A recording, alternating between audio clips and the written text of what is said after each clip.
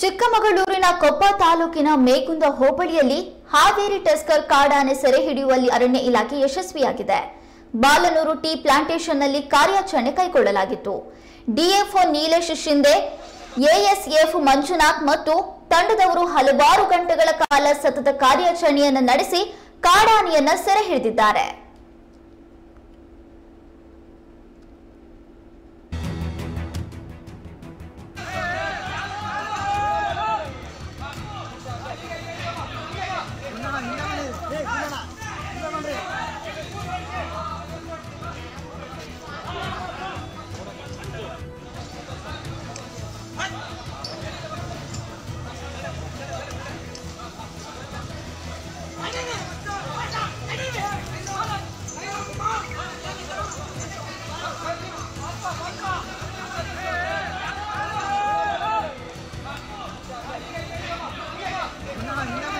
同志